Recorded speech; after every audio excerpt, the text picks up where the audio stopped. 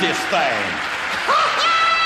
Ain't no night like a Saturday night on the Grand Ole Opry. Oh, y'all having a good time. I just tell the way you look and the way you hollering. You know, I've told a lot of stories in my day about rat killings and my brother Sonny, what choked that rat to death. Well, today is my brother Sonny's birthday. And I want to wish him a happy birthday. He's at Route 4 Liberty, Mississippi, watching the Grand Ole Opry. Woo! Me and my brother growed up with an old boy named Eugene Ledbetter. Eugene was the lionest human being it's ever been. He is mean too. Eugene uh, used to like to play dog. He'd get up on the front porch and get out on his all fours and look out through the steps. Somebody walk up in the yard, he'd come out from under there. lie. He'd climb a tree to get to tell you a lie when he could stand on the ground and tell you the truth. I was eating supper over to Ledbetter's one night, and Nugene jumped up and hollered, Oh, there's a lion in the yard, a lion in the yard, he's going to eat us up. And Uncle Versie, his daddy, looked out and there's a big collie dog out there. Now, they had shared the hair off of that dog. It is hot summertime. Left a patch of hair right on the end of his tail and a ring of hair around his neck. And Uncle Versie wheeled around and whop, knocked Eugene down. Said, Boy, I done whooped you.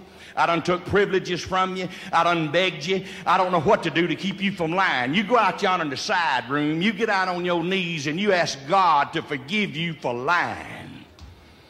Eugene went out there and come back in about 20 minutes, had his head down. Uncle Versie said, you talk to the Lord? Said, yes, sir.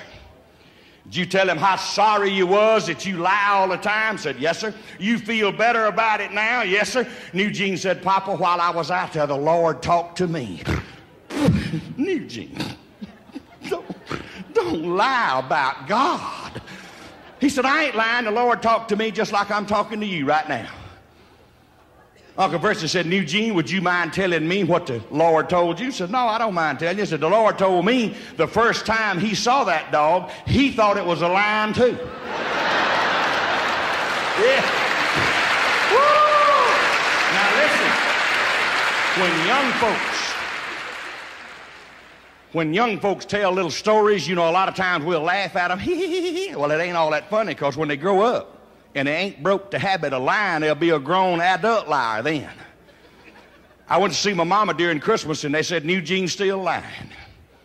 Grown adult man. In fact, it got so bad the deacons and the preacher decided they'd go see Eugene and talk to him about it. Basically, he's a good fellow, except he just lies all the time. And they decided they'd go see Eugene and tell him the most unbelievable, bodacious, outlandish, damnable lie that's ever been told and let the preacher tell it. And just show Eugene how stupid it is for good folks to lie. And maybe he'd get the point and quit lying. They went over and sat down in the living room. Eugene said, What can I do for you? And the preacher said, Eugene, would you believe last Sunday I was up preaching and the back door of the church opened and down the aisle of that church come a great, big, huge, grizzly bear? Ah! And he come and squatted right down by the Lord's Supper table in the church. Right behind that big old bear was a little old bitty black and white fast dog. That dog jumped on that bear and they commenced to fighting. Oh, wallered down the first eight rows of pews in the church. Women fainted. Oh, you ain't never heard such a ruckus in all your life. And when the hair quit flying and the fur quit flying, would you believe that that little old bitty black and white fast dog had completely whooped that great big old vicious grizzly bear, whooped him, whooped him, and consumed him right there in the church. Said, Eugene, you believe that? Eugene said, Heck yeah, I believe that. That was my dog.